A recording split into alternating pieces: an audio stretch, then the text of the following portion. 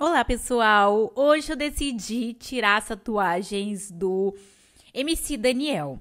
E assim, é muito engraçado porque eu peguei essa foto e não foi na intenção de remover as tatuagens dele. Então eu não peguei o melhor ângulo para se remover a tatuagem de alguém em uma foto, vocês entendem? Na verdade, eu ia pegar essa foto dele e provavelmente a gente vê como que ele ficaria com as cores de um outro personagem. Mas aí eu vi tanta tatuagem, eu falei, cara, que legal, né? A gente vê como que ele ficaria. Então vai ser parcial isso aqui. Vocês vão ver até o final, vocês vão entender. Mas eu vou situar vocês o que eu estou fazendo. Eu começo jogando uma camada grossa, né, de base, digamos assim. E depois disso, eu venho camuflando essas sub subtonalidades, porque é muito mais fácil do que eu tentar aí camuflar 100%. A gente já viu uma mão dele totalmente sem maquiagem, sem maquiagem, totalmente sem tatuagem. E aí eu venho aí novamente com o pincel e vou fazendo isso aqui que vocês estão vendo, né? Eu vou tirando o grosso. A intenção não é cobrir totalmente a pele dele, sim todas as partes que estão pintadas. E aí eu vou fazendo toda essa parte aqui depois disso, eu venho camuflando e usando os tons, sombra e luz para conseguir camuflar essa marcação inicial. E aí é um processo de muita paciência. É, eu fiquei surpreendida porque é impressionante. É, eu adoro fazer essas coisas. Eu juro para vocês, eu adoro fazer essas coisas. Mas eu decido fazer essas coisas quando eu tô sem paciência de fazer, sabe? Eu não sei o que acontece. Eu tô com toda a paciência do mundo. Aí eu vou fazendo coisas práticas. Aí eu começo a ficar, tipo, sem paciência. Eu falo, nossa, eu vou tirar todas as tatuagens do corpo do MC Daniel. Olha que legal. Que prazer que vai ser.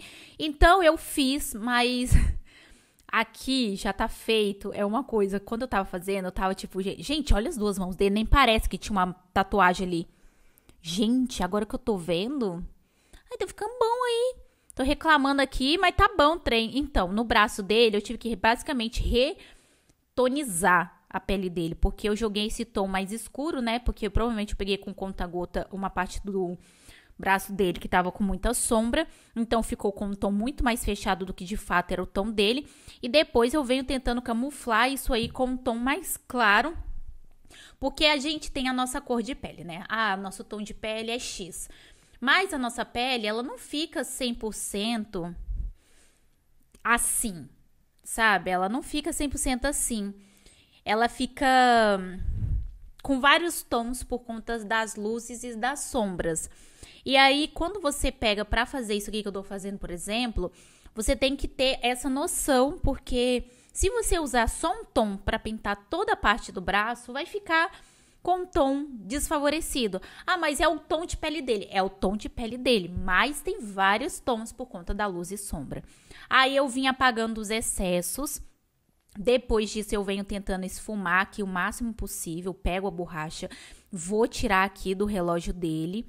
Aí, depois que eu faço isso, eu venho novamente com um tom mais escuro para retrazer aqui a sombra do braço dele porque não é só um tom, como eu falei para vocês. Então, eu venho aí tentando camuflar o máximo possível. Pega esse tom, deixa o pincel um pouquinho maior e vou jogando aqui, ó, da, do canto do braço e vou subindo com degradê um pouco menor. Eu fiz uma quantidade bem menor de degradê, porque não tinha muito degradê naquela parte do braço dele, era realmente eu tentando recuperar a parte da sombra. No outro ali, é, no caso, no outro relógio, foi muito mais fácil fazer isso.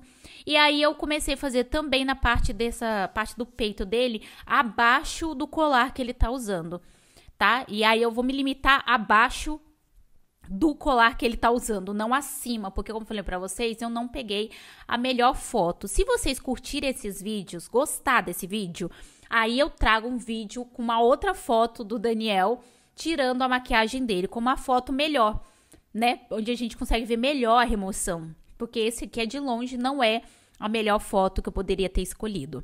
Aí aqui eu venho camuflando com um tom, sabendo que eu ia usar outros tons, né?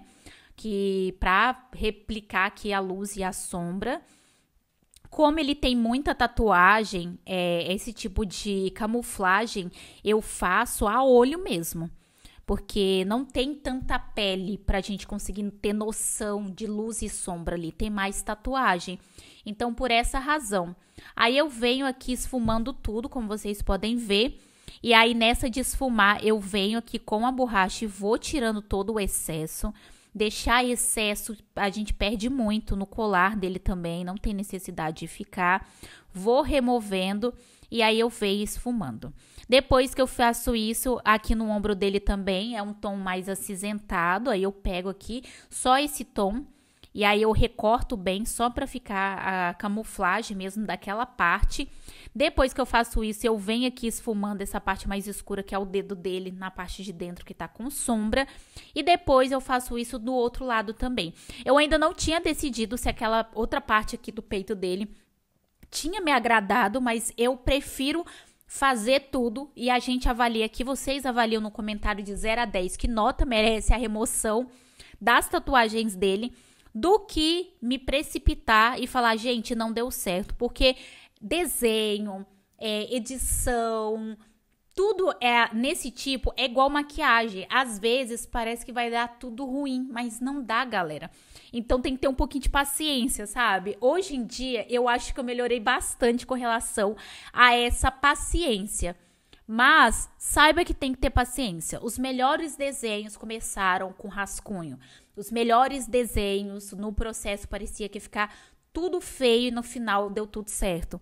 Então tem que ter essa paciência. Você tem que esperar até o final para falar: "Nossa, realmente não deu certo.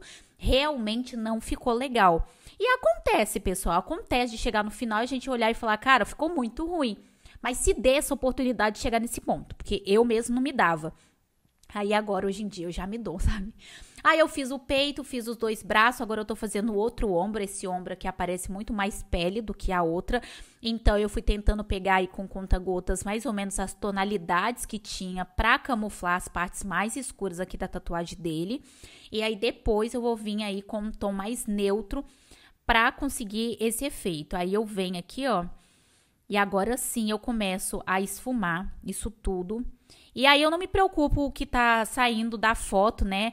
Porque eu vou recortar. Aqui realmente a minha preocupação é conseguir camuflar, é conseguir trazer as tonalidades e os efeitos tudo bonitinho. Venho camuflando com esse tom um pouquinho mais claro, esse aqui mais escuro, ainda tá marcado, mas tá mais camuflado. Aí eu venho recortando tanto essa parte aqui do ombro quanto a parte da mão dele também, ó. O relógio também foi muito tampado. E aí, depois que eu faço isso, eu puxo aqui pro braço. Aí, depois que eu faço, eu venho com o pincel bem pequenininho. E aí, eu venho aí esfumando essa parte. E aí, eu peguei um tom mais escuro, intencionalmente, mais para trazer sombra, pra gente conseguir realmente ver a mão ali do Daniel, sabe? Aí eu venho esfumando, pessoal, e depois disso eu venho dando mais uma esfumada. Aí eu peguei um pincel maior e aí eu venho jogando por cima, mas de um jeito que não vai camuflar tudo, só vai esfumar um pouquinho mais. E esse aí foi o resultado, como vocês podem ver. Eu me limitei a isso, então eu tirei, né, a maquiagem, a maquiagem, a tatuagem dele das mãos, do braço e do peito. Se vocês gostarem, eu trago mais vídeos nesse estilo com uma foto melhor e mais adequada. O aplicativo que eu usei é o Ibispaint, se você quiser dominar ele, tem o um link aqui na descrição, onde você vai aprender através de vídeo aula, passo a passo, cada uma das funções e você pode usar também no celular. É isso, até o próximo vídeo.